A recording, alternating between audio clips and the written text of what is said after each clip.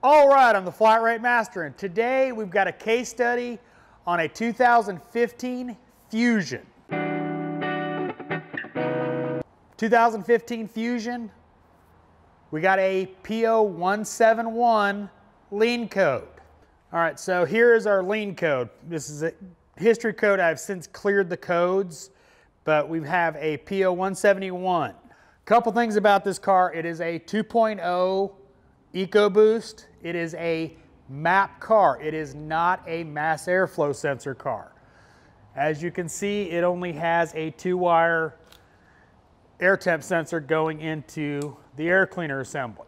I've honestly, I've never seen a lean code, a a P0171, on a MAP sensor car. MAP sensor cars don't actually measure airflow. Airflow, a mass airflow sensor monitors airflow coming into the engine and that's how it calculates incoming air. A MAP car, manifold absolute pressure, does it by vacuum. So when you have a vacuum leak on a MAP sensor car, you normally have a elevated idle. Usually that's the code you get when you have a vacuum leak is a high idle code. I don't have that, I just have a lean code. Now I've been messing around with this car for a couple days. Came in yesterday. Um, we'll talk about what I've done so far, but that's where we're at. So what we're gonna do is we're gonna go ahead and crank up the car and we're gonna see what she does as far as fuel trims. All right, quick tip, if you've got a push button ignition, and you know, you obviously got to go in there, push the brake pedal to get it crank up. Quick tip is to use a pedal depressor to push down the brake pedal so you can just reach in and hit the button. Really helpful on diagnostics where you've got to shut the car off, restart the car and all that. So we'll put this in first.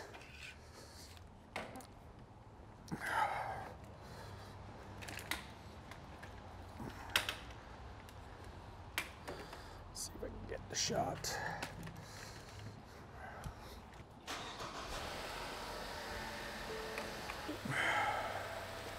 All right, so I've got the vehicle running right now, and as you can see, our long term is 24.21, and our short term right now is negative.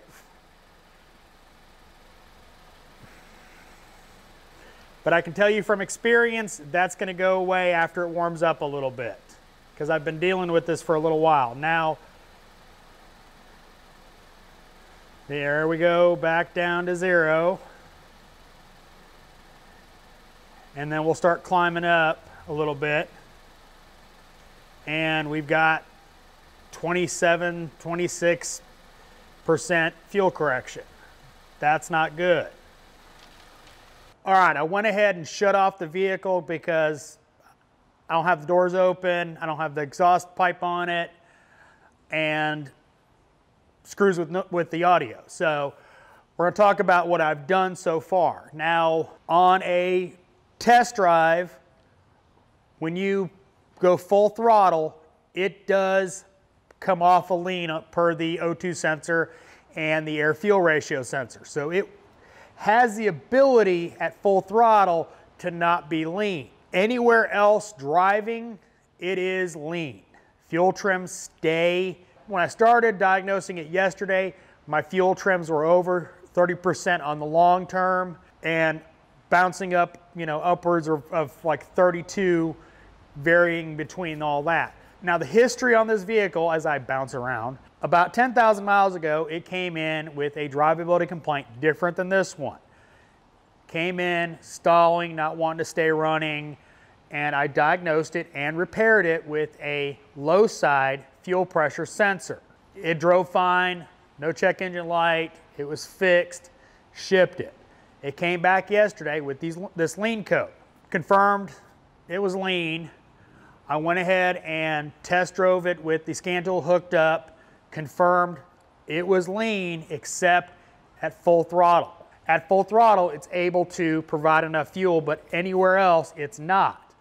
Now, with that in mind, I went ahead and added brake clean to the intake, and I, I'd love to, to show you, but it's hard to get brake clean in this intake because of how it's set up. It's a turbo car, and you don't want it on the turbo side of the engine, so really hard to add fuel, but when I did that, it did correct fuel trims.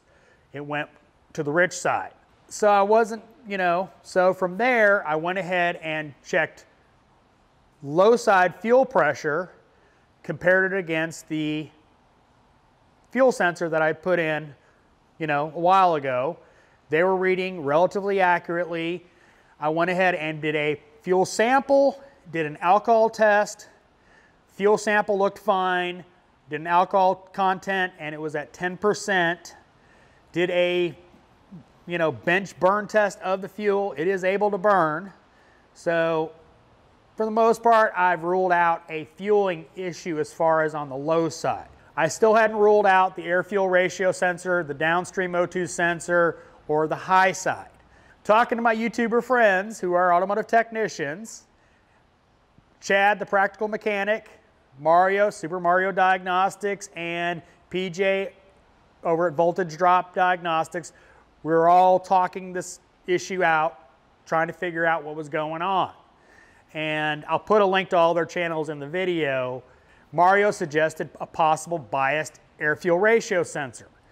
Now, I wasn't convinced on that, but he suggested a unplug it test. Now, I'm never a fan of unplug it tests, but pulling hair out, so I figured I'd try it. Inconclusive, um, it went into open loop and was no longer fuel correcting.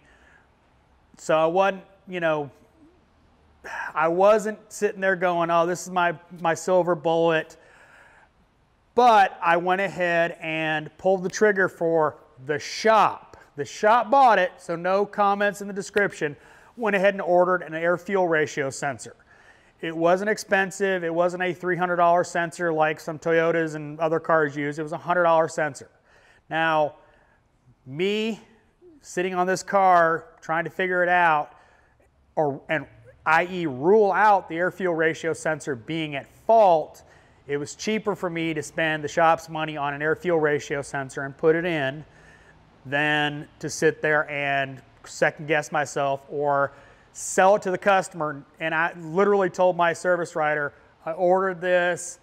I'm not sure it's going to fix it, so don't sell it to the customer. It was cheaper for me to do that than to sit here and spend, you know, a couple hours second guessing myself on an air fuel ratio sensor because we all know they can be difficult to diagnose. Went ahead put it in, it didn't do anything. Uh, after I put it in, I went ahead and unplugged the rear O2 sensor and didn't do anything either. It actually stayed in closed loop. It did not change my fuel trims. They stayed adding fuel. Okay, so this is getting interesting and mind-numbing. Now, side note on the service information that I have available to me through ALLDATA and Identifix. No fixes on Identifix for this car. And the service information from Ford was basically generic fuel trim trouble tree. It, it, was pulling my hair out because they wanted you to check vacuum leaks and this and this and this. Another thing I checked that I skipped over that I just remembered was I did actually disconnect the purge valve and disconnect the line to it and the connector to it and verified that it wasn't stuck open or stuck closed. It does work, it does operate as designed. So ruled that out as a possible, you know, issue there, even though I knew that shouldn't set a lean code on this car. The guys are as helpful as they can be, but they're all pretty much, you know, running stumped. Chad knows of a on an a escape with this engine that there's an issue with map sensor, baro sensor, and the boost sensor being skewed by a harness issue. So I went ahead and key off, compared those. They all matched within 0.1 or something like that. Unplugged them both. They both, you know, went open. You know, the scan tool reacted. So I knew those sensors were at least reading per the service information I had accurately. So where do we go from here? I know I've got a fueling issue.